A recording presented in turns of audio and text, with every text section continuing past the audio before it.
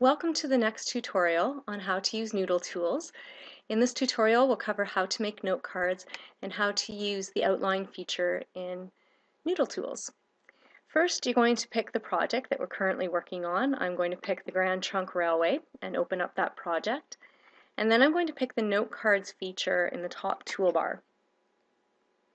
When this opens, you'll see that there's an area on the right hand side for you to create the outline for the project and an area on the left where you can create the note cards.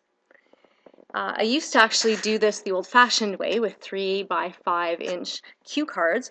On one side of the cue card I would write the quotation that would support my argument and then on the back of the cue card I would write the information of where I got that source, whether it was from a book or a website. And then I'd also paraphrase it in my own words and I'd stack these cue cards on the floor into different piles and categories and then try to write my paper from there. On this program, we can combine it all together. So in the outline feature, the main topic um, that we're going to be doing today, I just need to highlight that until it's in blue, is going to be reasons why the Grand Trunk Railway was so important to Canadians.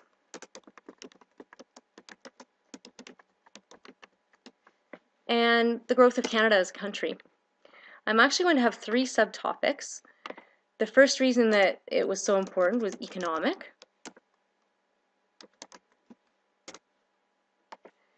And I'm going to add another subtopic by highlighting the main reason and clicking the plus button. The second reason it was so important was political, because it did tie, tie the country together. And the third subtopic is going to be social and how it changed the way that people communicated and traveled across the country. Then I'm going to start making note cards. Um, you should be as specific in the title of the cards as possible because this is what you will see when they're all stacked on the left hand side of the screen. So I'm going to go economic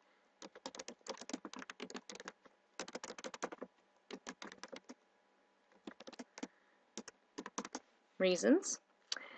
And then I'm going to go to an article or a database or a book and I'm going to find the information that is going to help support my argument or the quotation that I want to copy.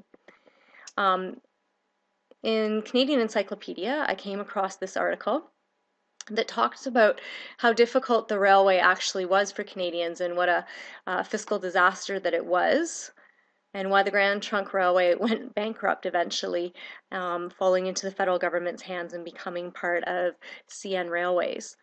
So I'm going to copy this quote, go back to my note cards, and I'm going to paste this quotation in. Okay.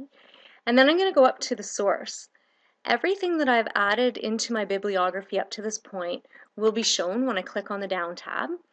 This particular article was the Canadian Encyclopedia, so I just need to highlight it.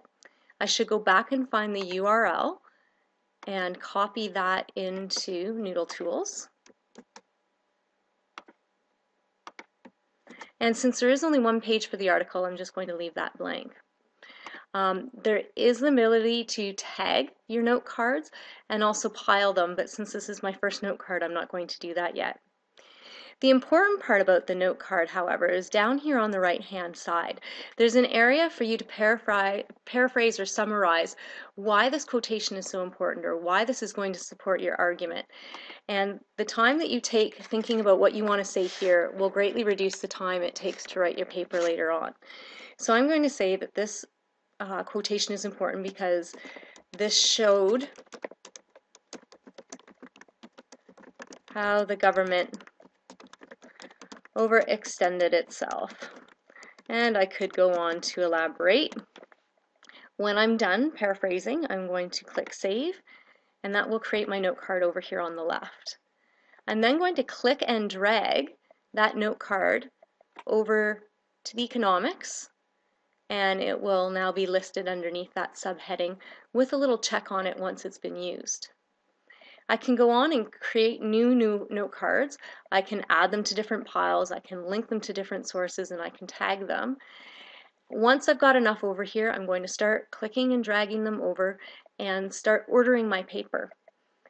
You can actually hand this outline in to your teacher um, by putting it directly in their Dropbox if they've created one, or I can click the, click the print um, button up here on the right hand side and I can print what's here and I can also print the bibliography as well. It gives you both options. When it comes time to actually start writing your paper, if I was to click on paper here, um, it would directly go to Google um, Docs. I would sign into my Gmail account and everything that is in my outline so far and in my bibliography would be automatically exported into my Google Doc. You can also copy and paste that into a Word document